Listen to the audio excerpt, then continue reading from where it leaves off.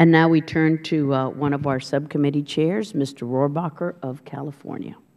Uh, thank you very much, uh, Madam Chairman, and I appreciate uh, the leadership that you and uh, Chairman Royce have uh, exemplified, especially by this hearing.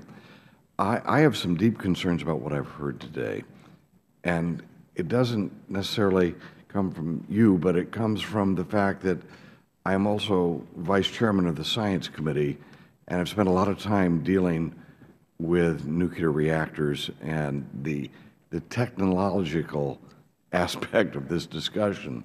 Uh, Mr. Lippman, we're rushing to uh, 172 reactors, we say, are perhaps on the way to being built. Um, are any of them uh, non-light water reactors? Light water reactors are 50 and 60-year-old technology, and they are dangerous, as we've seen in Japan. Do we not now have the capability to build safe reactors, whether they're I guess, uh, thorium-based, maybe uh, small modular nuclear reactors, pebble-based reactors, high-temperature gas-cooled reactors, all of which do not have this same potential of creating a, a disaster.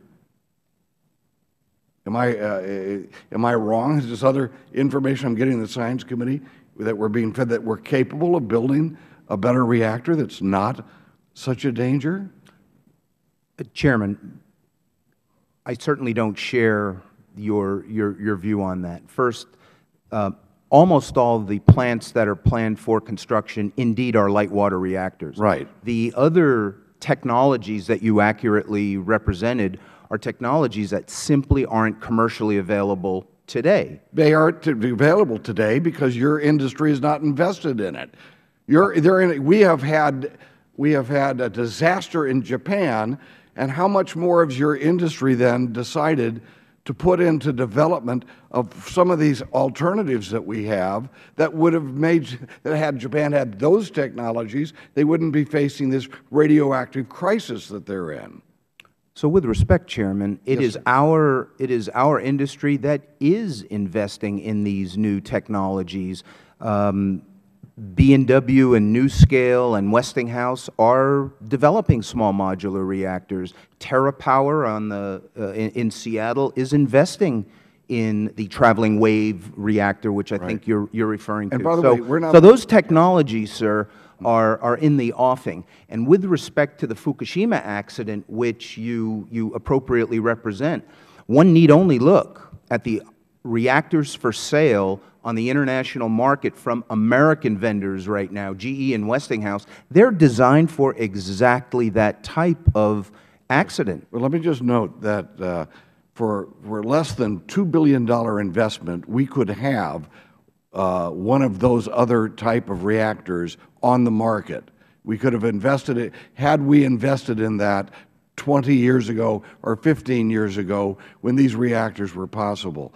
And had we had a pebble-based reactor system in Japan, there wouldn't be a nuclear uh, crisis there right now.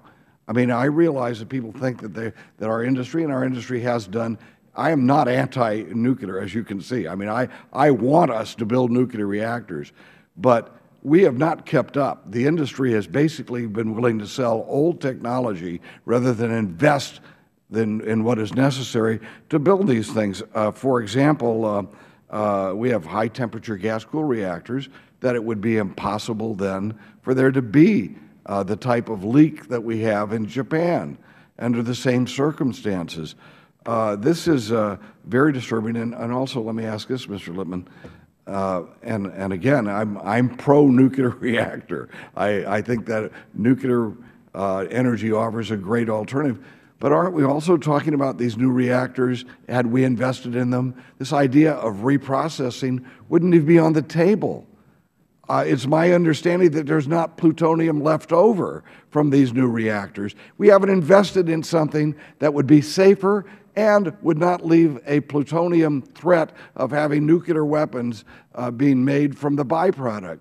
Uh, I, I, will just have to say that as much as I respect the, the development of the technology in your industry. I think that your industry has been, along with our government, uh, been irresponsible in not putting the money into the development of safer reactors that would leave the world safer from nuclear uh, uh, weapons as well as nuclear leaks. Thank you so much, Mr. Rohrabacher.